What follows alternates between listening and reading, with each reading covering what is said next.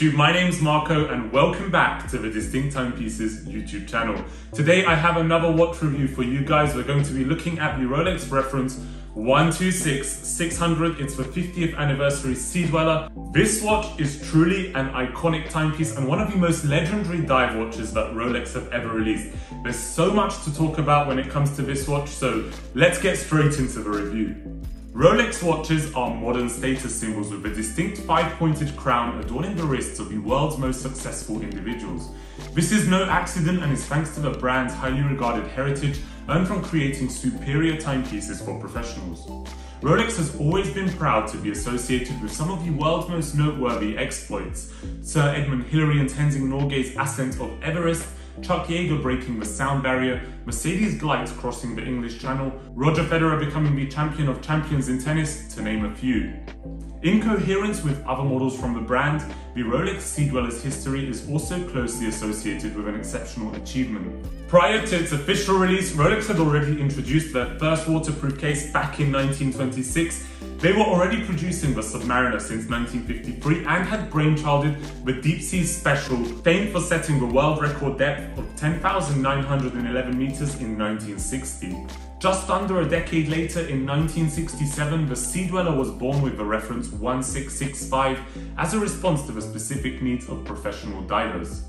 Developed in collaboration with French diving company Comex, the initial 1665 had a depth rating of 500 meters or 1650 feet, and was the first watch to feature Rolex's helium escape valve, a signature groundbreaking innovation that allowed the watch to withstand the pressures of deep sea saturation diving without damaging the crystal. Over the years, through the 70s and 80s, Rolex continued to improve the Sea Dweller, increasing its water resistance and its durability through innovations such as the trip lock crown, and they also improved its movement. Did you know that at the time, Rolex used to use radium and tritium for volume on their watches. These materials have dangerous radioactive properties and naturally Rolex had to phase them out in the 90s and early 2000s.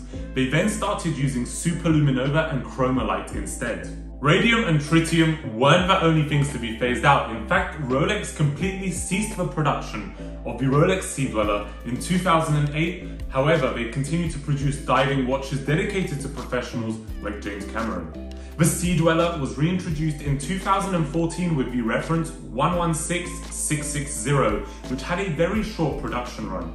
Over time, Rolex gained a pretty solid reputation for being a leading manufacturer of superior dive watches. Their most popular dive watch was the Submariner, which received a green bezel to commemorate its 50th anniversary in 2003. So you might wonder what Rolex did to celebrate the 50th anniversary of the Submariner's big, stronger and more capable brother.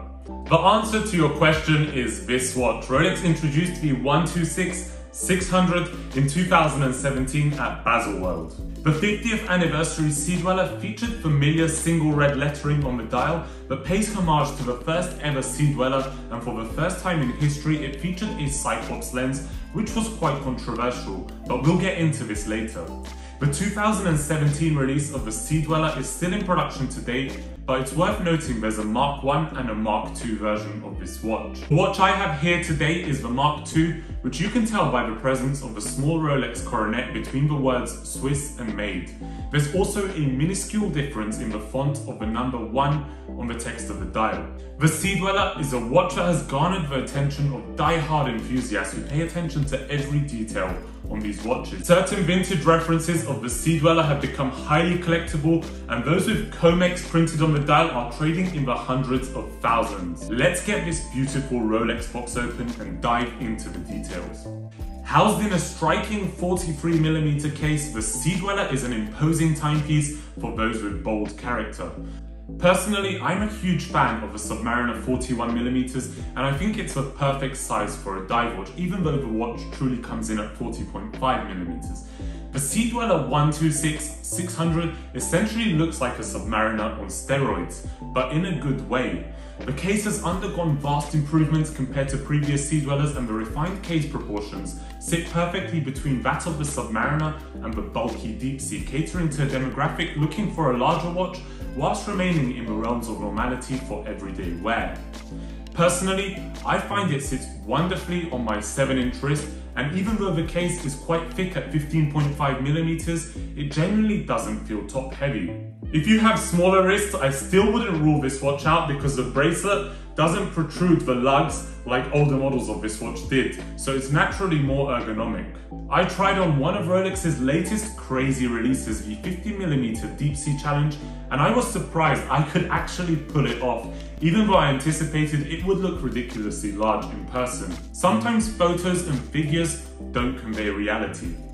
The brushed and polished monoblock middle case is crafted from Rolex's Oyster Steel which is smelted in their own foundry just outside of Geneva in Switzerland. Oyster steel belongs to the 904L steel family, known for its higher resistance to corrosion, which is of course very important for a watch that's designed to be used in salt water at high pressures. The 60 minute unidirectional bezel is of course a key feature of this watch, aiding safe and precise monitoring of dive and decompression times.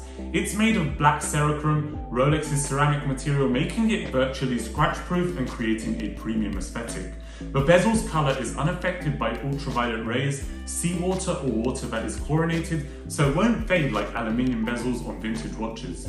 The numerals and graduations are PVD coated in platinum and its mechanics are also exceptional. Let's take a listen.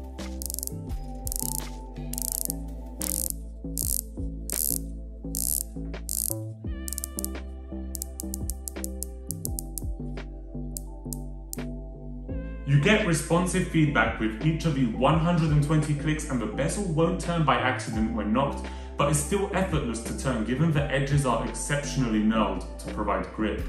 The knurling on the bezel is one of those details about this watch that is discreet and perhaps underappreciated, but it truly exemplifies Rolex's level of detail when it comes to finishing.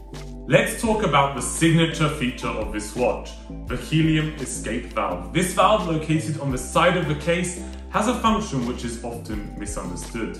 Even professional scuba divers are unlikely to encounter real-world conditions which would require the use of the helium escape valve. This valve is dedicated to saturation divers completing work under the ocean for days or weeks. The fundamental issue saturation divers face underwater is that nitrogen, which makes up 78% of the regular air we breathe, has an anesthetic effect at high pressures. That leads to an effect called nitrogen narcosis, which is effectively a feeling that you are drunk which as you can imagine is probably not ideal when you're so deep under the ocean in risky conditions. Saturation divers live in dry specialized chambers and breathe specialized gas mixtures. To get around the issue of nitrogen narcosis, helium is used in place of nitrogen for the gas mixtures during saturation diving. Even though this sobers up divers and solves the issue of nitrogen narcosis, it creates an entirely new issue for their watches. After spending multiple weeks in a highly pressurized, helium-rich environment, the tiny molecules inevitably work their way past the watch's gaskets into the case. This doesn't cause problems for the watch as long as it stays under pressure, but the issues surface at the decompression stage. As air pressure returns to normal in the decompression chamber, the volume of the trapped helium molecules inside the case of the watch start to expand and apply pressure to the case from the inside. If the internal pressure in the case builds up enough, it can damage components and can pop crystals clear off their watches. This is a problem divers used to have before Rolex introduced the helium escape valve. The helium escape valve's purpose is to prevent this from happening by allowing helium to escape from the case. Divers actually used to unscrew the crown of their case to let helium escape from the watch, however, this wasn't a practical solution because debris and dirt would enter the case, requiring the watch to be serviced more regularly. The Sea Dweller 126-600 is waterproof to 1,220 meters or 4,000 feet. With these watches, we often glance at the crazy depth rating figures printed on our watch dial, but we don't stop to think about what they actually mean in reality. Let's put these numbers into perspective. 1,220 meters is approximately like stacking the Shard in London on top of itself four times, or is the equivalent of putting the Empire State Building on top of the Burj Khalifa. So you can only imagine what going downwards into these depths of the ocean must be like. Let's be honest, for most of us who will probably put this watch to the test in a swimming pool or at the beach, any minimal depth rating would suffice. However, That's not the point. It's about Rolex proving what they can do. To have such a depth rating on a commercially available watch is super cool in my opinion and pays tribute to the brand's heritage. For a watch designed to be taken to extremes, it's of course expected that the Oyster bracelet ensures a secure fit. The three-piece links are solid and it's very comfortable with a brushed finish that is more scratch resistant than a polished finish. The Oyster bracelet from Rolex is the best suited to water activities and its name is derived from an oyster's watertight properties. More importantly, the glide lock clasp on this watch features a securement latch to ensure the spring-loaded lever doesn't come undone underwater. The reverse of the clasp conceals a useful glide lock mechanism, allowing you to adjust the length of a bracelet in 2mm increments up to 20mm without tools. This is a great feature to have to adjust the watch when your wrist expands or contracts due to temperature variations, and it also helps with fine tuning. Rolex took the Sea Dwellers bracelet a step further when compared to a Submariner and included a dive extension link to make it even easier for divers to fit the watch over their wetsuit. You'll notice that the dive extension link has been taken out of the watch I have here today, which is probably advisable if you're not going to be using this watch for diving. Everything about this watch is special. Look at the case back. It's also in theme with the diving aspect of this watch. It reads Rolex Oyster Sea Dweller Original Gas Escape Valve, whilst leaving space for any engravings you might desire. The caseback of this watch conceals an in-house officially certified Rolex Caliber 3235 providing superior performance above and beyond COSC requirements. It keeps time to minus 2 plus 2 seconds, offers a 70 hour power reserve, meaning you can leave it stationary and it will keep running for 70 hours, and the watch is protected by a Parachrom hairspring and high performance Paraflex shock absorbers. Overall, it's a tried and tested movement that boasts 14 new patents and a huge redesign from its 3135 predecessor to ensure excellent performance. Being a true tool watch, every design aspect of this timepiece has the end user in mind. The dial of this watch features legible hour markers in simple shapes such as triangles, circles and rectangles with a matte black backdrop to prevent the risk of any confusion underwater. In a blackout, You'll be the last one laughing. The innovative Chromalight display offers uniform luminosity that lasts up to 8 hours, which is double that of standard lume. This dial is a miniature work of art that is beautifully encapsulated in a scratch-resistant sapphire crystal with Rolex's famous Cyclops lens. The Cyclops lens was never previously featured on the Sea Dweller because the crystal used to be domed to allow the watch to go to greater depths. Even when Rolex eventually flattened the crystal, the Sea Dweller remained true to its heritage and still didn't have a Cyclops lens. When it was introduced on the model, it's safe to say a good portion of collectors were enraged. Some people generally don't like the Cyclops, whilst others felt the watch lost its vintage charm.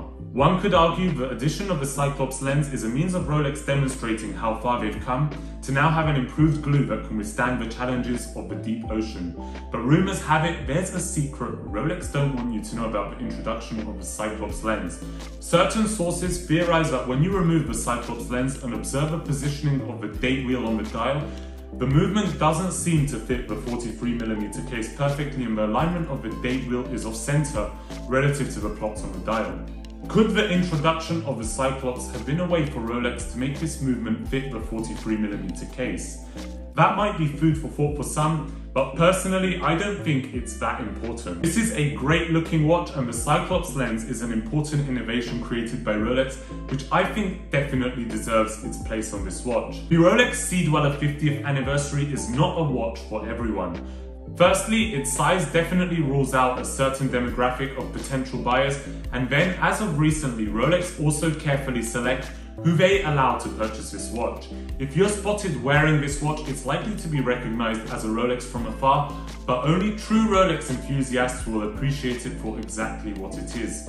The retail price of this watch is 13,250 euros, 11,150 British pounds or 13,250 US dollars. It can be a process to get this watch from your AD, but if you are struggling, that's not too much of an issue since in 2023, it's available on the pre-owned market for around its retail price. At the peak of the market, this watch did command a premium, but it was still trading less than a Submariner. There's also a two-tone yellow gold variant of the Sea Dweller, which as the current situation stands, is much easier to obtain as your first purchase and is a watch your AD is likely to chase you to buy rather than the other way around.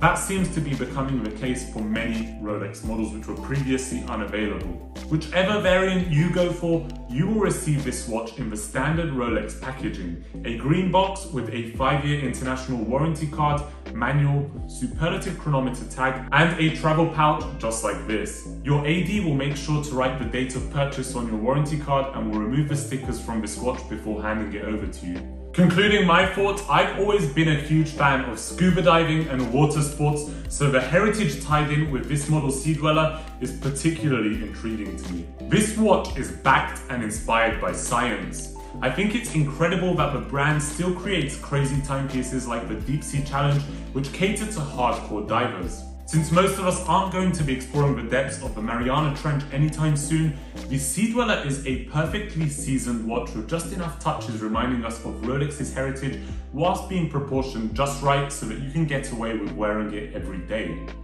It ignites emotions that the Submariner doesn't, transporting you to a realm of extreme exploration. If an educated watch enthusiast spots this watch on your wrist, they'll for sure know you have good taste but it's a sleeper. All the hidden heritage behind details such as the font color, helium escape valve, the writing on the case back, and even the appearance of the Cyclops lens are unapparent to the uneducated eye. Even the matte black dial makes it that touch more subtle than the Submariner. It's the sub's bigger, more confident brother that doesn't need to shout to show its presence and capabilities. It could well be perceived as a disproportionate submariner in the eyes of some, and that's what's great about this watch. It's not a hype piece. You buy it for your own satisfaction. This watch has been crafted with impeccable attention to detail, the movement is excellent and all of its design features have been carefully considered to create a comfortable and refined end result trumping all of its modern predecessors from the Sea Dweller range. It's the ultimate dive watch from Rolex and in my opinion it doesn't get much better than the 126 600. Let me know what you think about this Rolex Sea Dweller and if you enjoyed this video make sure you leave me a like, make sure you subscribe to the channel and also be sure to check out our website distincttimepieces.com. Thank you for watching and I'll see you on the next one.